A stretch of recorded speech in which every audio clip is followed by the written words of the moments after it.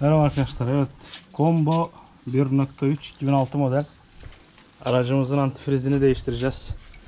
Şöyle bakalım antifriz suyumuz bayağı paslı gözüküyor. Evet aynen. Yani çok paslı. Derecesi de derecesi iyi gözüküyor gerçi. 25 falan ama gördüğünüz gibi pas içinde su. Antifriz var içinde ama maalesef pas mı antifriz mi onu da bilmiyorum. Ama var muhtemelen çünkü 25 gösterdi. Şimdi ilk önce antifrizimizi aşağıdan boşaltacağız. Şurada bir boşaltma tıpası var onu göstereceğim. Radyatördeki suyu boşalttığımızda tıpayı kapatıp buradan yıkama yapacağız baştan normal çeşmeyle. Sonra saf su ilave edip biraz gezeceğiz. Ki motorun termostat açıp motorun içindeki su da devir daim olsun radyatörle. Ondan sonra tekrar boşaltıp antifrizi ekleyip bu şekilde e, değişimimizi tamamlayacağız. Şimdi alttan bir şeyini sökeyim ben onu. Vanasını. Evet şurada gözüktüğü üzere şunu şuradan gevşeteceğiz. Ve zaten akmaya başlaması lazım. Yavaş yavaş.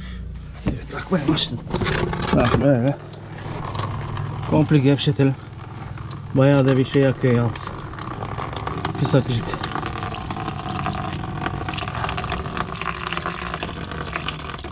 Muhtemelen değiştirmemişlerdir ya. Neyse şuraya verelim. Yere aktı ama aksın. Yapacak bir şey. Kaçırdık.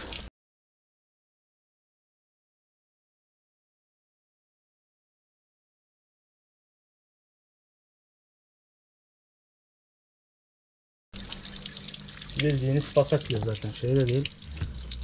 Bildiğin pas akıyor. Muhtemelen hiç değiştirmemişler yani. Şimdi hortumla bir yıkamasını yapalım baştan. Evet.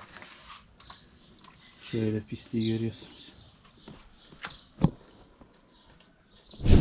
Evet şu an yukarıdan suyu tuttum. Hala gördüğünüz gibi bildiğin pislik akıyor. Beynin üstüne oraya şey koy. Poşeti koy. Şu azar azar Heh, aynen. O beyin bu. Hı hı. Beyni kapatalım şöyle. Hafif hafif suyu açsana. Fazla açma ben sana söyleyeceğim. Tamam böyle bir yaksın. Fazla açma tamam. Böyle bir tamamen bir su berraklaşana kadar böyle akıtacağız. Ondan sonra biraz saf su ekleyip daha doğrusu komple saf su dolduracağız termostat açana kadar gezeceğiz. Ondan sonra tekrar radyatör suyunu boşaltıp ondan sonra antifrizimizi ekleyeceğiz. Sistem bu şekilde olacak yani. Başladı temizlenme. Evet. Bayağı bir başlatacağız yani. Evet şimdi gördüğünüz gibi temiz akıyor. Şimdi aç çeşmeyi. Şimdi böyle açıp açıp tekrar şey yaparsanız yine pis gelmeye başlıyorsun. Evet yine pisler. Kapat. Böyle açın. Su bidondaki su bittiğinde buradaki su bittiğinde tekrar açın çeşmeyi tekrar kapatın. O şekilde yapın. Daha iyi temizlensin diye. Bir de şöyle bir şey. Şimdi bunun antifrizini değiştireceğiz. Böyle birkaç ay kullanıp boşaltıp yeniden buna biz muhtemelen yeni bir antifriz koyacağız. Çünkü su çok paslı çıktı. Şuradaki pasa bir bakın. Yani paslı mı artık antifrizin kırmızı rengi de olabilir biraz. Ama tabii ki yoğunlukla da pas var içinde. Evet şimdi saf suyumuzu doldurduk. Şimdi termostat açana kadar arabayı çalıştıracağız. Bir içindeki su da radyatöre karışsın. Ondan sonra tekrar boşaltacağız. Elimizde 20 litre su var. 5 litre aldı zaten şu an. 2-3 kere yapacağız yani bu işlemi ki tam olarak temizleyelim sistemimizi. Şimdi çıkalım biraz dolaşalım bir fanımızı açsın. Fan açtıktan sonra tekrar döneceğiz. Evet şimdi dolaştık termostatımızı açtı. Radyatörümüz ısındı. Şimdi tekrar boşaltacağım. Evet su yine paslandı böyle. Biraz sıcak tabi ama yarım saat bekledim. Şimdi bir tekrar bir boşaltalım. Ondan sonra tekrar yumuşak suyu doldurup devam edeceğiz.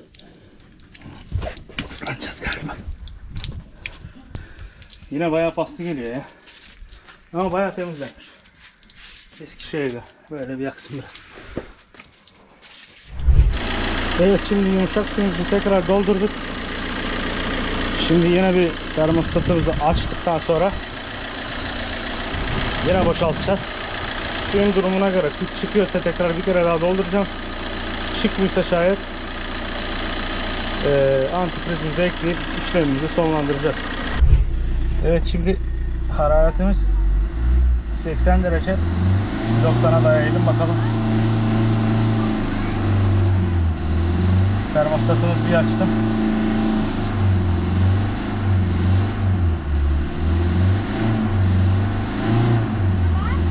Baba ben Tarkan'ın önemlisini Tamam git oğlum. Çıkarabilecek misin?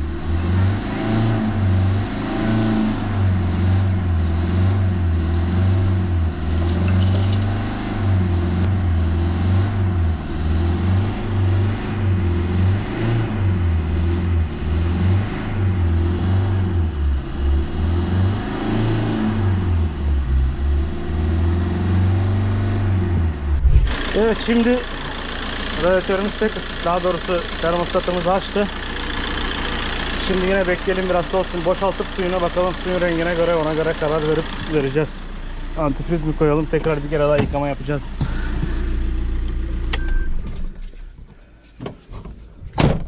Bekleyelim şimdi biraz. İyi motoru varsın ha. Aynen. Motor iyi ya bunlar. Motor Güzel araba yani. Ya çingene günleri Kürtler orada. Çok çok. Evet bir taraftan antifrizi değiştiriyoruz. Bir taraftan balık pişiyor. Aynen. Masa takılıyor. Yaşa. Made in Bulgaria. Evet. Arabayı unutmayın. Bakalım arabaya bakın. Evet. Şimdi bekliyoruz termostat açsın. Daha termostat açmadı. Çalışıyoruz. Derecemize bakalım. Kaç derece olmuş? Evet. 80'e yaklaşmış.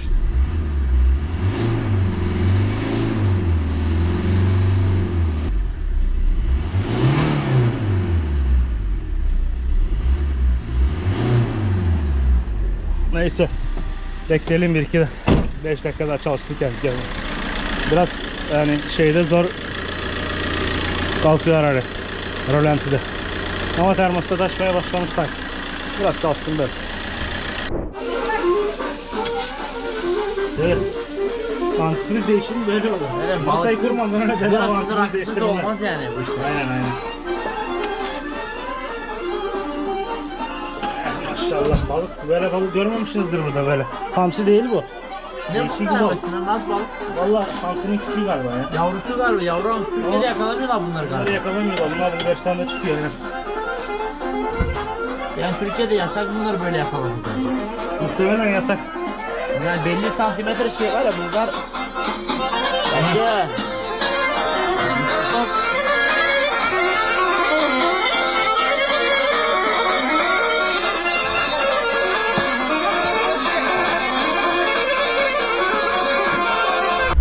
Evet arkadaşlar şu an yaklaşık 95 derece falan oldu. Ama fanımız açmadı. Yani fan ne zaman açacak diye test edeyim dedim ama maalesef fan açmadı. Ee, Opel Combo fanı acaba kaçta açıyor? Bilginiz varsa alta yorumlara yazarsınız. Ben fazla zorlamayacağım. Yani benzinleri 103 derece civarı açıyor ama bunlar demek ki bunlar da muhtemelen 103 yüzde açacak Opel olduğu için ama sonuçta multijet motor var bunda. Onu tam olarak bilmiyorum. Fazla zorlamayacağım ben. Bu şekilde motoru kapatacağım. Bundan sonra muhtemelen antifrizimizi ekleyip işlemi sonlandıracağız. Shell'in antifrizini aldım. 3 litre konsantre.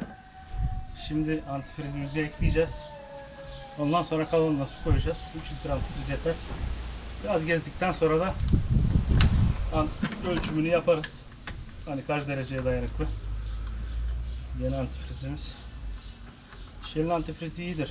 Bu antifriz yani ee, Kokusu da süper. 3 litre ekleyelim bakalım. Yaklaştır bunu. Yani burasını çek artık. Yani 3 kere yıkama yaptık. 3 kere motorumuza saf su koyup boşalttık. Saf su koyup boşalttık. Tabi bu arada 90 dereceyi de buldurduk aracımızı.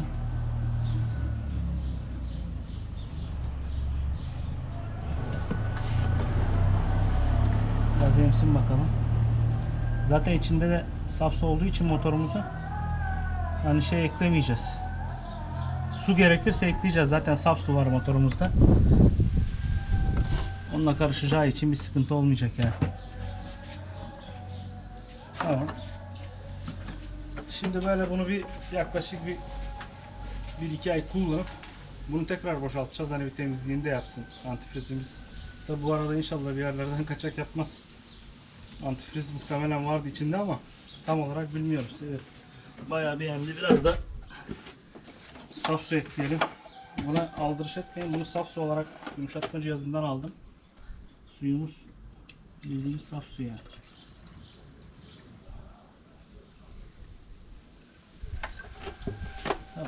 Şöyle biraz fazla koyduk. İşlemimiz bu kadar arkadaşlar. Suyumuzun antifriz derecesi tabii önemli. Antifriz işimiz bu şekilde oluyor arkadaşlar. Yani Opel Combo veya yani 1.3 multijet motorlarda genelde böyledir. Fazla bir değişiklik olmaz. Sonuçta 1.3 multijet motor var üstünde. Opel'in geneli böyledir. Basit yani ama biraz tabi zaman alıyor. Boşaltın, ısıtın. Arabayı sonra tekrar suyu boşaltın. Biraz meşakkatli olduğu için tabi biraz zaman uzayabiliyor. Arkadaşlar videoyu beğenmeyi unutmayın.